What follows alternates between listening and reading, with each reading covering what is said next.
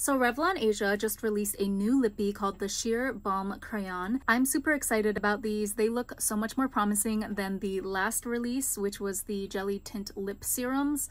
Yikes, let's not talk about it. I had to go ahead and pick up this shade right away, 003 American Cherry, which is almost too perfect of a name, I think. It is just that classic mid-toned cherry color that can match anything. So I swatched all colors in store first and they look pretty promising to me. So now let's see how it applies on my lips. Mmm.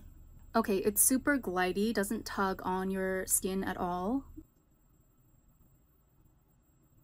Just gonna clean up around the edges with a q-tip.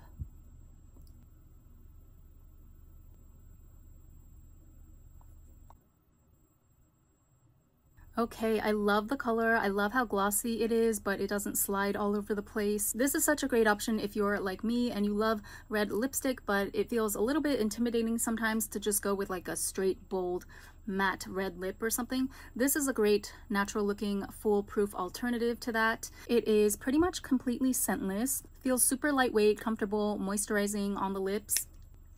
I have no complaints. Like the video if you want me to try out all the other shades.